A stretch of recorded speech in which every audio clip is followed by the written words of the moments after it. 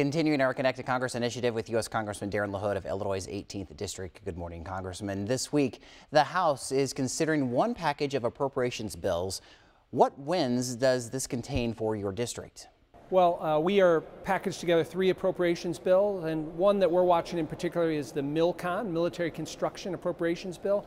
For a long time, we've been advocating for a new firehouse at the 182nd Air Wing, uh, which is in the Peoria area, and we've got money allocated for that, about $9 million, long overdue for our military uh, facility that we have in Peoria, but it services all of Illinois, plays a very strategic role, and we were happy that we were able to get that $9 million in the military construction budget for that new firehouse will play a key role in the uh, services that are provided there. So we'll be watching that uh, as part of this bill that comes to the floor uh, tomorrow or the next day.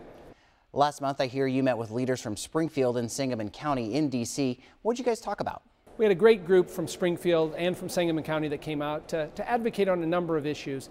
One was uh, we have a large rail relocation project in the Springfield area, and we met with the FRA, uh, Federal Railroad uh, Administration, uh, to talk about a number of things. There's an ongoing issue that pertains to some artifacts. Uh, I think we've made a lot of good progress to have the mayor, uh, our county board chair from Sangamon County, and a number of other elected officials here to advocate we went down to the Department of Transportation, met with the FRA administrator, had a great meeting. Um, and so that was a big part of it. We're making progress on that.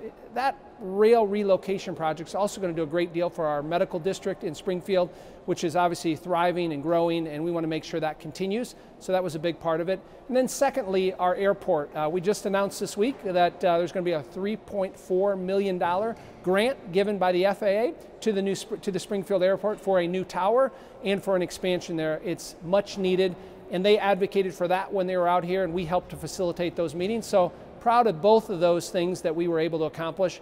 But a, a big part of that credit goes to the group from Spring, Springfield and Sangamon County that came out here.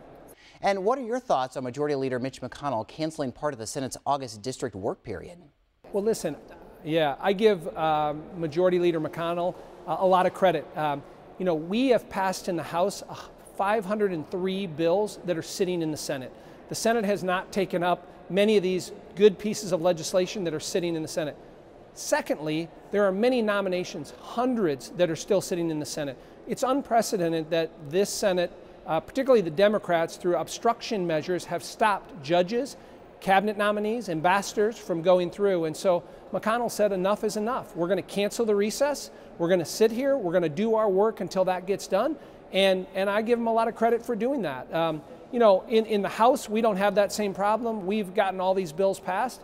Uh, and so, frankly, if the Senate gets this all done and they can send these couple of the uh, appropriations bills back to us, we ought to think about coming back at the end of that. But the ball is in the Senate's court. Hopefully, they can get this work done that they need to.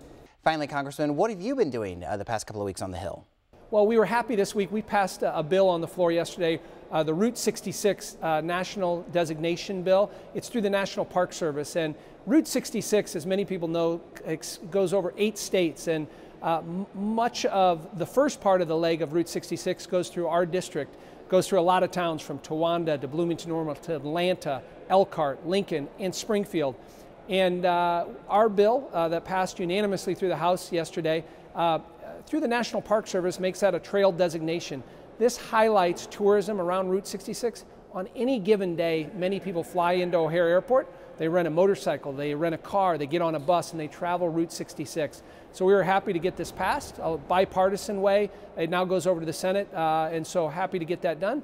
Next thing, we'll be working on immigration reform. That's a big issue that we'll deal with next week and the week after, uh, and then also the opioid crisis. So I look forward to engaging in those debates. Congressman Darren LaHood, as always, we appreciate your time.